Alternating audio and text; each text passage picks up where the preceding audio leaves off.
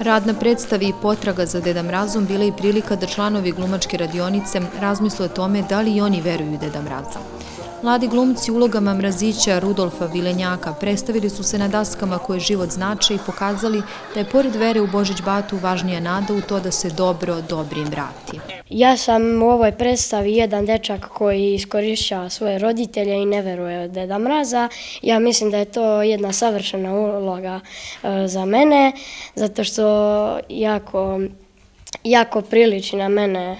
Mislim, neću da kažem da ja sad malo važavam to veru u Deda Mraza, ali jednostavno pogođena je uloga. Ja glumim e, Vilenjaka Šiška, to je zapravo Deda Mrazov pomoćnik. Mi pravimo paketiće pored mene. Ja imam dva svoje brata, e, Duška i Miška i eto mi tako zajedno pravimo paketiće, a kasnije idemo u tu potragu za Deda Mrazom po kojoj predstava i nosime. Ja sam također jedan dečak koji ne veru isto u Deda Mraza i bije ga. Nevaspitan je. A da li, da li ti veruješ u Deda Mraza? Pa, ne, ne verujem, ali volim eto kada idem, da mi da potpuno to. Pozorišni komad govori o Božić Bati koji je razočaran u današnju decu, koja za kraj godine očekuju skupe poklone.